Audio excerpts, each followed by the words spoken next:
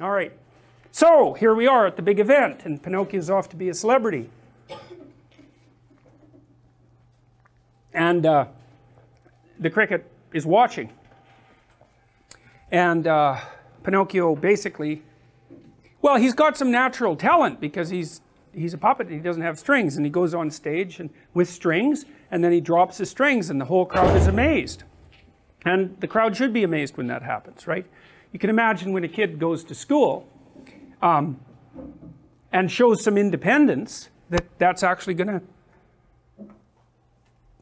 people are going to notice that his, his peers are going to notice that. The teachers are going to notice that. Maybe it's too much independence even, right? But it's still a, it is a remarkable thing too. Like, it's so interesting, you know, you can see marked signs of independence in children, well, right from the time they're born, basically, because what's one of the things that's really funny about infants is that, you know, when they're crying, you always think, oh, the baby's, well, you're crying, it's the baby's sad. It's like, no, a lot of the time that baby is angry.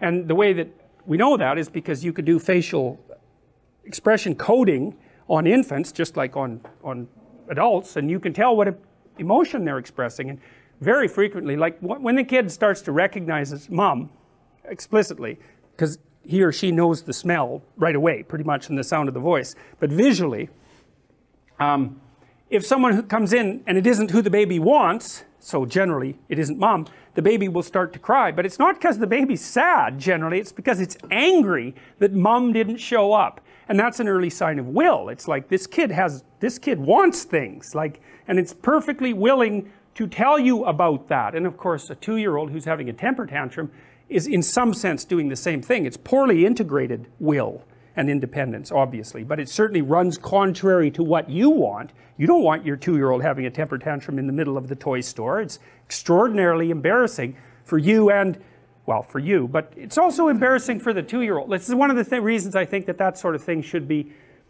carefully socialized rapidly, because it's actually humiliating for the kid because other people don't like that and they're very judgmental about like they won't say anything usually but sometimes they will. But they're not happy about the fact that that's happening and they will judge the child negatively. And so you don't want your child to be behaving in a way in public that makes other people think badly of them. It's it's really it's really not good. And so you, part of your job as a parent is to not expose your child to that sort of experience, especially not repeatedly. It's really hard on them. Or they get narcissistic, which is also really hard on them. It's just, it takes a lot longer to manifest itself. So anyways, he's off on stage and Stromboli introduces him and talks about how wonderful this is going to be and Pinocchio comes out on stage with his strings on and drops them and then he falls down the steps and put his nose in a hole, makes a fool out of himself. And that's when Stromboli, first time Stromboli shows his true character because he just really yells and screams at him. And he has his back to the audience, Stromboli, while he's doing this, so he's not noticing how the audience is reacting. Typical tyrannical parent, right, who's not noticing that society is reacting a different way than, than him, and he's not happy about it. And Pinocchio, of course, is dazed and feels like a fool, and he is a fool, so that's appropriate. But then Stromboli hears the crowd laughing and as soon as he turns around he's like all smiles again. And so that's the first time you get insight into what sort of puppet master he is. He's there to please the crowd and that's all. And he's there to look good in public but fundamentally he's a tyrant. And so and i guess that's the problem the problem with false celebrity is that the negative spirit of the crowd becomes your master right? Because to be a celebrity you have to be a crowd pleaser. And if you're pleasing the kind of crowd who likes a celebrity like you which is and there's not much reason for that, then it's not exactly like you're appealing to the proper side of the crowd. And you've become its puppet one way or another. And maybe it's rewarding you with wealth perhaps and with attention. But fundamentally it's not it's not something I would recommend if you want to stay reasonably psychologically healthy for any reasonable amount of time. You're going to sell yourself out. And I don't mean that in any casual way you know. All right so anyways Stromboli changes from the tyrant to the good father in half a second. He gives Pinocchio a pat on the head, despite the fact that he's made a mistake, looks all kind, and the show continues. Now, the cricket is not very happy about this. He's sitting in the stage watching. He's very uh, angry, and let's say disgusted by what's happening, partly because Pinocchio is making a fool of himself. Now that's an interesting thing, you know. Uh, human beings blush. In fact, if I remember correctly, the name Adam, you know, like Adam and Eve, is related to the capacity to blush. Now, that, that comes from something I read a long time ago, and that might be wrong. But Adam does manifest shame in the sight of God, so there, there is a relationship there.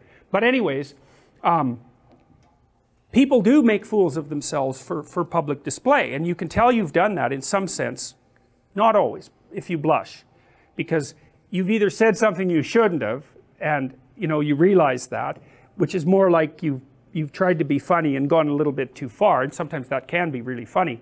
Or you've said something that you know to be false, manipulative, deceitful, beneath you, um, any of those things, and you'll have an automatic response to it.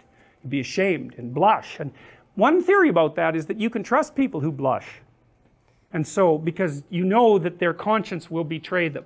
And so that even if they are lying, they tell you. And so, it's an interesting theory, you know because blush is definitely like it's a facial display you know it's right out there where people can see it.